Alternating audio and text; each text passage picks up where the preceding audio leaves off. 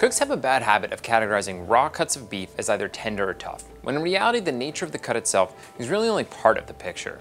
How a steak is cooked and to what final internal temperature will greatly influence tenderness, as will how you slice it. Now, cutting matters not only at the butcher shop, but also at home, and especially when it comes time for carving.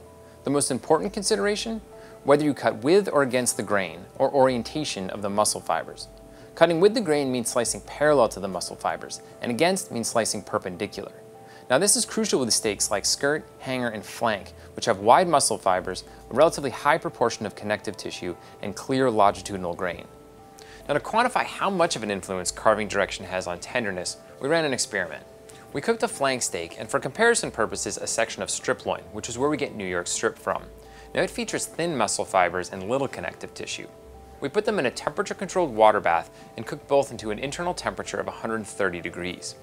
We then used an ultra-sensitive piece of equipment called a CT3 texture analyzer from Brookfield Engineering to test how much force was required to bite into the meat. We tested this both when the meat was carved with the grain and when it was carved against the grain.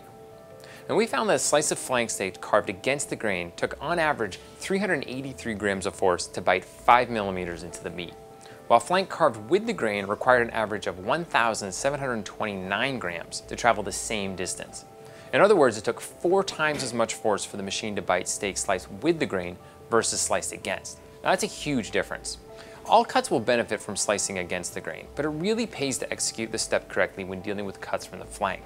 And while most cooks would argue that flank is much less tender than the expensive strip steak, that's not necessarily true. When we compared both steaks sliced with the grain, we found that flank was indeed 193% tougher than strip.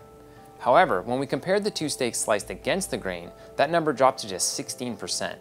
Our tasters' comments closely mirrored this data, and that's why flank, when properly prepared, can rival premium steaks that cost significantly more.